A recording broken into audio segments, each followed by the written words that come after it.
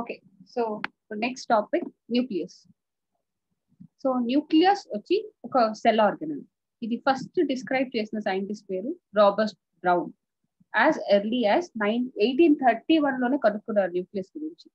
So మనకు తెలిసిన largest nucleus ఏది చెప్పండి? ఇప్పటిదాకా మీరు చూసిన largest nucleus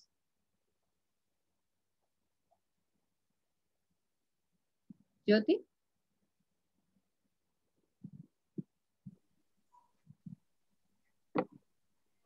Jyoti ma'am ఇప్పటిదాకా నువ్వు చూసిన లార్జెస్ట్ న్యూక్లియస్ ఏది చెప్పు?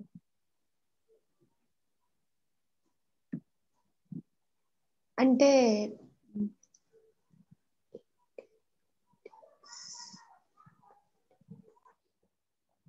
ఇది చాలా ఈజీ క్వశ్చన్ ఇప్పటిదాకా మనకు తెలిసిన లార్జెస్ట్ సెల్ ఏది? ఆస్ట్రిచ్ ఎగ్ ఓకే అప్పుడు లార్జెస్ట్ సెల్లోనే కదా లార్జెస్ట్ న్యూక్లియస్ ఉంటుంది. Oh okay ma'am. అంతే సింపుల్ నీట్ అంటే అలానే ఆలోచించారు. ఏది మనకి డైరెక్ట్గా ఇవ్వడు నీట్లో ఒకటి మనకి తెలిసి ఉంటుంది ఓ ఆ కాన్సెప్ట్ గుర్తుపెట్టుకొని ఓకే దానికి రిలేటెడ్ ఇదే కదా అని అనుకోవాలంటే ఓకే సో చూద్దాం ఇప్పుడు. So later the material of the nucleus is stained by basic dyes was given the name chromatin by Flemming so న్యూక్లియస్ని తర్వాత స్టెయిన్ చేసినప్పుడు దాంట్లో కొన్ని కలర్డ్ ఎలిమెంట్స్ కనిపించాయి ఆ కలర్డ్ ఎలిమెంట్స్ నే క్రోమాటిన్ అన్నారు. క్రోమాటిన్ అంటే నథింగ్ బట్ క్రోమోజోమ్స్ అనమాట సో ఆ థ్రెడెడ్ పార్ట్స్ ఇవన్నీ మనకి ఇలా కలర్డ్గా కనిపించాయి ఇది పిక్చర్ ఆఫ్ న్యూక్లియస్ సో ఈ న్యూక్లియస్లో మనకి క్రొమాటిన్ మెటీరియల్ ఉంటుంది. అంటే దాంట్లో క్రోమోజోమ్స్ ఉంటుంది. తర్వాత దాంట్లో ఇంకో చిన్న స్పాట్ ఉంటుంది. అదే న్యూక్లియోలస్ మళ్ళీ ఈ బయట ఉండే ఈ న్యూక్లియర్ మెంబ్రెయిన్ న్యూక్లియర్ ఎన్వలప్ అంటాం. అది డబుల్ మెంబ్రెయిన్ ప్లస్ ఈ న్యూక్లియర్ మెంబ్రెయిన్ లోపల మధ్యలో పోర్స్ ఉంటుంది. అదే న్యూక్లియర్ పోర్. ఇందులోకి ఏంటంటే ఏదైనా కంటెంట్స్ లోపలికి వెళ్తాయి ఈ న్యూక్లియర్ పోర్ నుంచి బయటకు వస్తాయి. అందుకని న్యూక్లియర్ పోర్. తర్వాత ద ఇంటర్ఫేస్ న్యూక్లియస్ ఇది సెల్ డివిజన్లో మనం మాట్లాడుకుందాం. ఇంటర్ఫేస్ని డీటెయిల్డ్గా. So nucleus of cell which is not dividing ఆ ఫేస్ని ఇంటర్ఫేస్ అంటాం. సో న్యూక్లియస్ ఏది డివైడ్ అవ్వకుండా లోపల ఉండే ఆ కంటెంట్ మాత్రం డబుల్ అవుతుంది. అంటే మనకు ఒక సెల్ ఇంకొక రెండు సెల్స్గా డివైడ్ అవ్వాలన్నప్పుడు ఫస్ట్ ఆ కంటెంట్ డబుల్ అవ్వాలి. ఆ కంటెంట్ డబుల్ డబుల్ అయిన తర్వాత స్ప్లిట్ అయ్యి రెండుగా డివైడ్ అవుతుంది. ఆ డబుల్ అయ్యే ఫేజ్ ఇంటర్ఫేస్ దాన్ని రెస్టింగ్ ఫేజ్ అని కూడా అంటాం. Has highly extended so ninety five percent of the cell cycle occupied by interphase and elaborate nuclear protein called chromatin, nuclear matrix, and one or more spherical bodies called nucleoli ఇవన్నీ కలిసి ఆ న్యూక్లియస్లో ఉంటుంది. Chromatin material ఉంటుంది. Nuclear matrix ఉంటుంది. Nuclear matrix అంటే nothing but nuclear nuclear plasm తర్వాత nucleoli ఉంది so electron microscopy has revealed that the nuclear envelope which consist of two parallel membranes with space between ten to fifteen nanometers of space ఉంటుంది. వాటి రెండింటి మధ్యలో. దాన్నే peri nuclear space ఏదన్నా సరే చాలా బయటికి ఉంటే దాన్ని పెరి అంటారు. అంటే పెరిఫరల్గా ఉంది అని అర్థం. చుట్టూ సరౌండ్ అయి ఉండేదాన్ని పెరి అని వస్తుంది. టర్మినాలజీలో forms a barrier between the materials present inside the nucleus that of cytoplasm. ఈ న్యూక్లియర్ మెంబ్రెయిన్ అనేది ఒక చిన్న బ్యారియర్ లాగా యాక్ట్ చేస్తుంది. సైటోప్లాజం లో ఉండే కంటెంట్స్కి న్యూక్లియస్లో ఉండే కంటెంట్స్కి. The outer membrane usually remains continuous with endoplasmic reticulum ఎందుకంటే ఎండోప్లాస్మిక్ రెటికులం ప్లాస్మా మెంబ్రెయిన్ దగ్గర నుంచి లేదా సెల్ మెంబ్రెయిన్ దగ్గర నుంచి న్యూక్లియర్ మెంబ్రెయిన్ వరకు కనెక్షన్స్ ఉంటుంది. కాబట్టి దాన్ని హైవే ఆఫ్ ద సెల్స్ అన్నారు. దిస్ ఆల్సో బేర్స్ రైబోజోమ్స్ అని సో మనకి ఎండోప్లాస్మిక్ రెటికులం లో రైబోజోమ్స్ కూడా ఉంటుంది అండ్ న్యూక్లియర్ ఎన్వలప్ మీద కూడా రైబోజోమ్స్ ఉంటుంది at a number of places the nuclear envelope is interrupted by minute pores which is formed by the fusion of two membranes ఆ రెండు మెంబ్రెయిన్స్ కొన్ని ప్లేసెస్లో ఫ్యూజ్ అవ్వకుండా ఉంటుంది. ఆ ఫ్యూజ్ అవ్వని ప్లేసెస్ అన్ని దగ్గర కొన్ని ప్యాసేజెస్ ఉంటాయి. సో ఆ ప్యాసేజెస్ని మనం ఏమన్నా? న్యూక్లియర్ పోర్స్ అన్నాం. సో అది దేనికి ఉపయోగపడుతుంది అంటే for the movement of RNA and protein molecules to takes place in both the direction nucleus నుంచి సైటోప్లాజం కి సైటోప్లాజం నుంచి న్యూక్లియస్కి ప్రోటీన్స్ ఇంకా ఆర్ఎన్ఏ ట్రావెల్ అవ్వడానికి హెల్ప్ అవుతుంది. Normally there is only one nucleus person జనరల్గా ఒకే న్యూక్లియస్ ఉంటుంది జనరల్గా కానీ కొన్ని సెల్స్లో చాలా న్యూక్లియసెస్ ఉంటాయి. అది ఎలా వస్తుంది అంటే దాన్ని సిన్సైషియం అంటాం. అలానే చాలా న్యూక్లియస్ ఉండే సెల్స్ని సిన్సైషియం సో దాంట్లో ఏంటంటే సెల్ అనేది డివైడ్ అవుతూ ఉంటుంది. కానీ సైటోప్లాజం డివైడ్ అవ్వదు. ఓన్లీ న్యూక్లియస్ మాత్రమే డివైడ్ అవుతూ ఉంది అలా చాలా న్యూక్లియసెస్ ఫామ్ అవుతుంది. సో అది దానికి reason. Can you recollect the names of organisms having more than one nucleus so some mature cells even lack the nucleus కొన్ని సెల్స్లో అయితే న్యూక్లియస్ కూడా ఉండదు. దానికి example erythrocytes so erythrocytes erythropoietic సెల్స్గా ఉన్నప్పుడేమో స్టార్టింగ్ సెల్స్గా ఉన్నప్పుడు న్యూక్లియస్ ఉంటుంది. పోన్ పోన్ డీజనరేట్ అయిపోయి డిసింటిగ్రేట్ అయిపోతుంది. And sieve tube cells vascular ప్లాంట్స్లో ఉండే సీవ్ ట్యూబ్ సెల్స్ కూడా న్యూక్లియస్ ఉండదు. న్యూక్లియస్ ఉంటే వాటర్ ట్రాన్స్పోర్టేషన్ కష్టం కదా. కాబట్టి న్యూక్లియస్ ఉండదు దాంట్లో.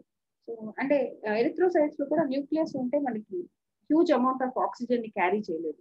సో దేనికది రీజన్స్ అనమాట so could you consider the cells as living అయినా కూడా వీటి సెల్స్ని లివింగ్ అనే అంటాం.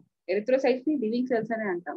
సీవ్ ట్యూబ్ సెల్స్ని లివింగ్ అనే అంటాం ఈవెన్ దో వాటికి ఇది లేక న్యూక్లియస్ లేకపోయినా. ఎందుకు అంటే మనం లివింగ్ స్టేట్లో ఉన్నామా లేదా ఒక సెల్ అనేది లివింగ్ స్టేట్లో ఉందా లేదా అని తెలుసుకోవడానికి సైటోప్లాజమే ఇంపార్టెంట్ నాట్ ద న్యూక్లియస్ కాబట్టి. సో ఇక్కడ దానికి రీజనింగ్ అది.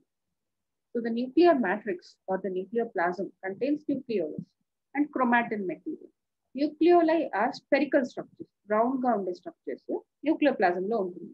So the content of the nucleus is continuous with the rest of the nuclear so న్యూక్లియోలస్కి nucleoplasm కి ఉండే కంటెంట్ చాలా సేమ్ ఒకేలా ఉంటుంది ప్లస్ కంటిన్యూస్ కూడా ఉంటుంది. And it is not a membrane bounded structure న్యూక్లియోలస్కి membrane ఉండదు. సో ఇప్పుడు మనకి టోటల్గా త్రీ స్ట్రక్చర్స్ గుర్తుకు రావాలి. మెంబ్రెయిన్ లేని స్ట్రక్చర్స్ ఒకటి రైబోజోమ్స్ ఇంకొకటి సెంట్రోజోమ్ రైబోజోమ్ సెంట్రోజోమ్ ఇంకా న్యూక్లియోలస్ ఈ మూడిటికి మెంబ్రెయిన్ ఏది ఉండదు. ఈ మూడు non membrane bounded cell organise so it is a site of active ribosomal RNA synthesis so rRNA synthesis ఇక్కడే జరుగుతుంది. న్యూక్లియోలస్లోనే జరుగుతుంది. And larger and more numerous nucleoli are present in the cells actively carrying out protein synthesis దీని తర్వాత మనకి chromatin material గురించి చూద్దాం. So we may recall that interface nucleus has loose and indistinct network of nucleoprotein called chromatin. Chromatin లోపల ఏమేమి ఉంటాయి? So there are different stage of cell divisions the cell shows chromosomes in the place of nucleus so ఎప్పుడు chromatin material అంటాం? ఎప్పుడు chromosomes అంటామంటే మామూలుగా ఒక cell divide అవ్వలేదు. దాంట్లో ఒక థ్రెడ్స్ లాగా ఉంది న్యూక్లియస్ లోపల. దాన్ని జస్ట్ క్రొమాటిక్ మెటీరియల్ అనాలి. అంటే అదొక కలర్డ్ మెటీరియల్ అని. అంటే ఆ సెల్ డివైడ్ అవ్వడానికి రెడీగా ఉన్నప్పుడు ఆ క్రొమాటిక్ మెటీరియల్ ఇలా ఫామ్ అవుతుంది. దీన్నే మనం క్రోమోజోమ్ అనాలి. ఇలా ఉంటేనే అది క్రోమోజోమ్ ఇలా లేకుండా జస్ట్ అన్ని థ్రెడ్డింగ్ థ్రెడ్డింగ్గా ఉంటే దాన్ని క్రోమోజోమ్ అని అనకూడదు. సో టర్మినాలజీ కూడా బేస్డ్ ఆన్ ది స్టేజ్ని బట్టి ఉంటుంది. అది ఏ స్టేజ్లో ఉంటుంది అనే దాన్ని బట్టి కూడా ఆ టర్మినాలజీ మారుతూ ఉంటుంది. So chromatin contains DNA and some basic proteins దాన్నే మనం హిస్టోన్ ప్రోటీన్స్ అన్నాం. కొన్ని ఇంకో ప్రోటీన్స్ ఉంటాయి. వాటిని నాన్ హిస్టోన్ ప్రోటీన్స్ అన్నాం. ఇంకా ఆర్ఎన్ఏ కూడా ఉంటుంది. సో కాబట్టి chromatic మెటీరియల్లో DNA histone proteins non histone proteins ఇంకా ఆర్ఎన్ఏ ఇవన్నీ ఉంటాయి.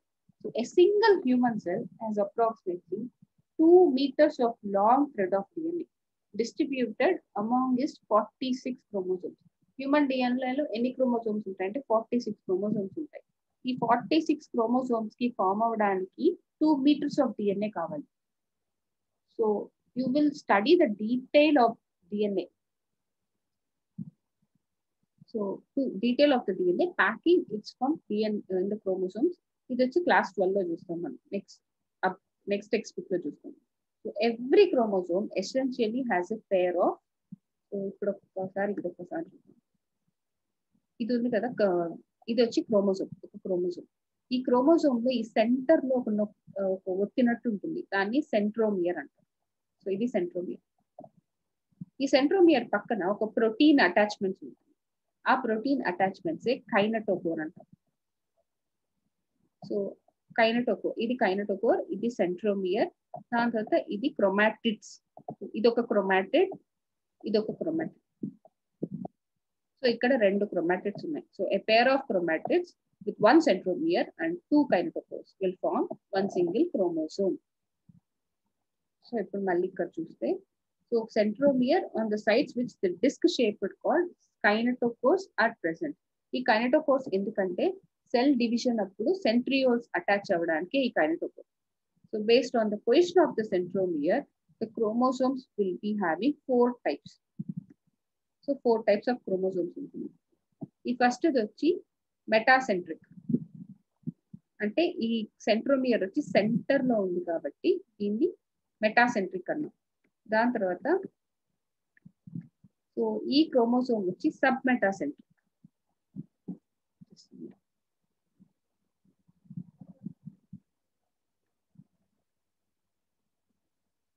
సో ఇది మెటాసెంట్రిక్ ఈ సెంట్రోమియర్ వచ్చి సెంటర్లో ఉంది.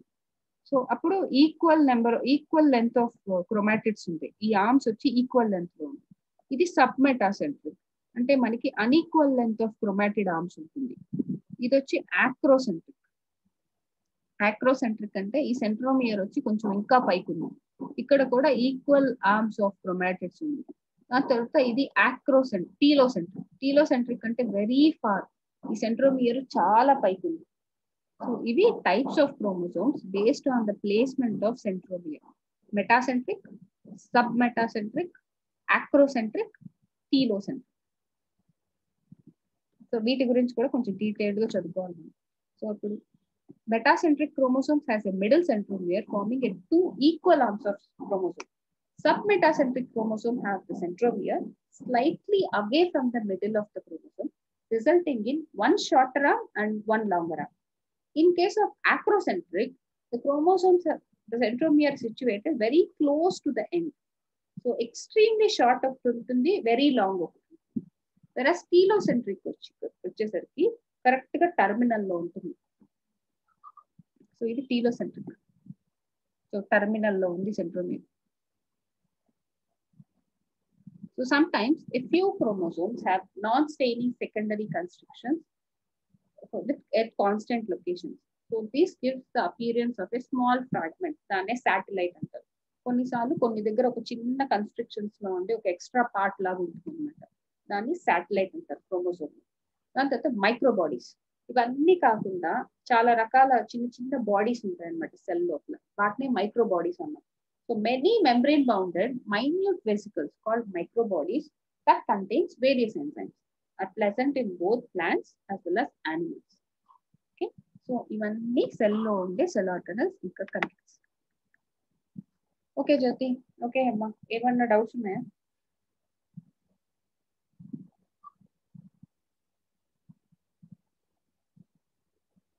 హలో జ్యోతి మ్యామ్ చెప్పమా నో మ్యామ్ క్లియర్గా ఉందా? మేడం శాటిలైట్ వల్ల ఏమైనా యూజ్ ఉందా?